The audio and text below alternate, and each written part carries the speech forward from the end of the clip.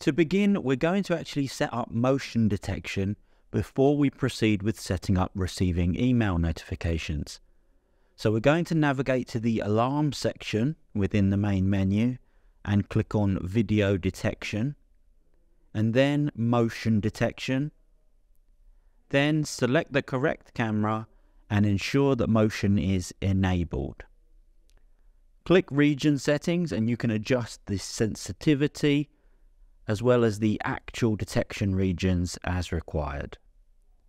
Once we've got our motion detection regions set up, we can then right click to go back and hit apply to save your changes before moving on to the next step. To configure the email notifications, right click to go back to the main menu and then proceed to the network tab, then click email.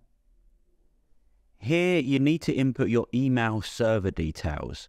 You'll need to click enable and if you have one of the more popular email providers such as Gmail, Outlook or iCloud, you should be able to find the details that need to be entered into SMTP server and port by Googling the name of your email provider and SMTP. I'm not going to enter any details here because they will be different for everyone based on which email provider you're using. But once you've entered that information in, you'll need to enter the username and then the password that you use with that email account.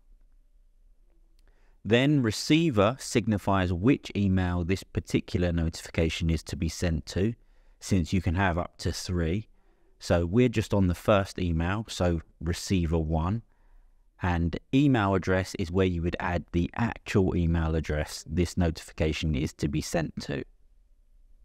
Sender will need to be the same as what you've entered into username in the top section, and you can choose whatever subject line you want. By default, it will say NVR alert.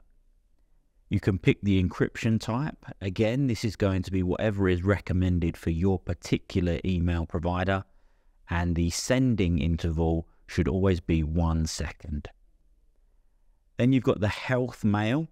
This is an email that is going to let you know the current state of your system, whether or not it's online and information like that. You can set up how frequently you want those emails as well if necessary. And again, hit apply once those changes are made. Now, go back to the alarm section, then select video detection, and then motion detection again select the correct camera, find the option labeled send email and ensure it's ticked so that you receive email notifications for this camera. As well as the regular notification, you can also have a snapshot of what's going on attached to the email that gets sent. In order to enable this, make sure the box located here is ticked.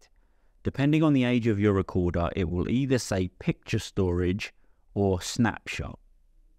And don't forget to save your changes again by clicking apply. Then go back to the main menu and go to storage and then schedule and then snapshot schedule. Select the correct channel and you'll really only ever want either motion or intelligent selected.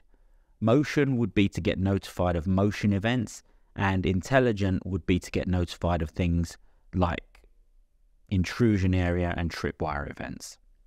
So we'll make sure motion is activated and we're going to click the cog wheel in order to make sure this is activated 24-7 across the schedule before hitting apply to only receive motion detection email notifications.